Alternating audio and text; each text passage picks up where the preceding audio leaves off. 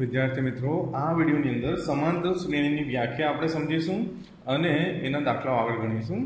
સમાંતર શ્રેણી કોને કહેવાય? જે શ્રેણી કોઈ નિશ્ચિત નિશ્ચિત વાસ્તવિક સંખ્યાથી શરૂ થતી હોય અને તેના દરેક ક્રમિક પદની જોડમાં પદોનો તફાવત શૂન્યેતર હોય રાઈટ શૂન્ય તફાવત નહીં હોય, અન્ય કોઈ પણ તફાવત હોઈ શકે છે. તો તે શ્રેણી સમાંતર શ્રેણી છે. ઉદાહરણ તરીકે ટી ટુ ઓછા ટી વન કરો તો પણ સરખું આવે.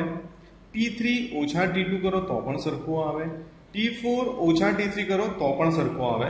જો આ બધામાં સામાન્ય તફાવત સરખો હોય અને સામાન્ય તફાવત શૂન્ય સિવાયની સંખ્યા હોય, તો આપણે કહી શકીએ કે તે શ્રેણીમાં છે. પહેલો દાખલો આપણે ચેક કરીએ. T two minus T one દસ મળ્યું. T three minus T two દસ મળ્યું. T four minus T three right આ T one T two T three એટલે કે ટર્મ પદ એક, પદ બે, પદ ત્રણ, પદ ચાર, બરાબર છે? એકતાલીસ છે? એકત્રીસ કર્યું. તો પણ દસ મળ્યું. તો સામાન્ય તફાવત દસ મળ્યો જે ઝીરો સિવાય છે. ઝીરો હોય તો નહીં ચાલે. ઝીરો સિવાય નેગેટિવ હોય, નકાર હોય તો પણ ચાલે. તો શૂન્યત્તર સંખ્યા છે. તો આ શ્રેણી છે, એમ કહી શકાય. બરાબર છે? તો આપણે શ્રેણી છે કે નહીં તે નક્કી કરવાનું છે અને હોય તો આપણે સામાન્ય તફાવત શોધવાનું છે. હવે અહીંયા ઝીરો ઓછા એક ઓછા એક, બરાબર છે? T three minus T two કરશો તો વત્તા એક આવ્યું, બરાબર છે?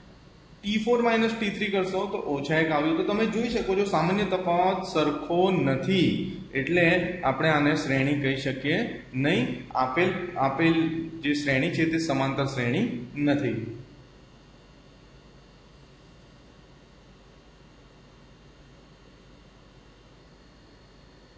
હવે વિદ્યાર્થી મિત્રો, આમાં ચેક કરીએ આપણે. બે ઓછા બે, ઝીરો. ત્રણ ઓછા બે, ઝીરો. તો બધે સામાન્ય તફાવત તો સરખો છે, પણ તે શૂન્ય છે અને શૂન્ય હોય તો નહીં ચાલે, એટલે સમાંતર શ્રેણી નથી. હવે વિદ્યાર્થી મિત્રો, આમાં થોડું ધ્યાનથી, કારણ કે આ નેગેટિવ છે, એટલે ચિહ્નની ભૂલ થઈ શકે છે. ટી ટુની કિંમત મૂકી આ ઓછા તો લખવાનું જ, એ ઉપરાંત ઓછા. હવે ઓછા ઓછા પહેલા ચિહ્ન બદલાઈ જશે. જો તમે પ્રાથમિક ગણિતના વીડિયો નહીં જોયા હોય તો પહેલા જોઈ લો, તો જ તમને આમાં સમજ પડશે.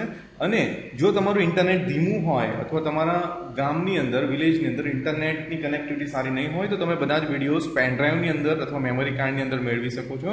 જે આઠ જીબી મેમરી કાર્ડ પેનડ્રાઈવ સાથે ફક્ત રૂપિયા ચારસોમાં ઉપલબ્ધ છે. ચારસો રૂપિયામાં આઠ જીબી મેમરી કાર્ડ અને કુરિયર ખર્ચ પણ આવી ગયો છે. ઓકે અહીંયા ઓછા બાર વત્તા આઠ, તો બારમાંથી આઠ જાય તો ચાર, મોટી સંખ્યાનું ચિહ્ન ઓછા ચાર. બરાબર છે? ઓકે અહીંયા T three minus T two ત્રીજું પદ છે ઓછા સોળ, બીજું પદ છે ઓછા બાર. ઓછા ઓછા વત્તા. સોળમાંથી બાર જાય તો ચાર, મોટી સંખ્યાનું ચિહ્ન.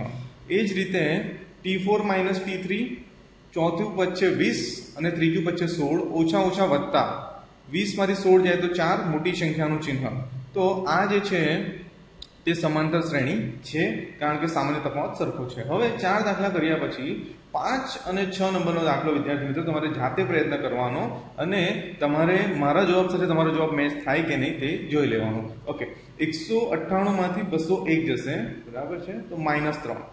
પછી એકસો પંચાણુંમાંથી એકસો અઠ્ઠાણું જશે, તો માઇનસ ત્રણ. પછી એકસો પં, એકસો બાણુંમાંથી એકસો પંચાણું જશે, ઓછા ત્રણ. એટલે કે આની અંદર સમાંતર શ્રેણી છે, કારણ કે બધામાં સામાન્ય તફાવત સરખો જ છે. દસ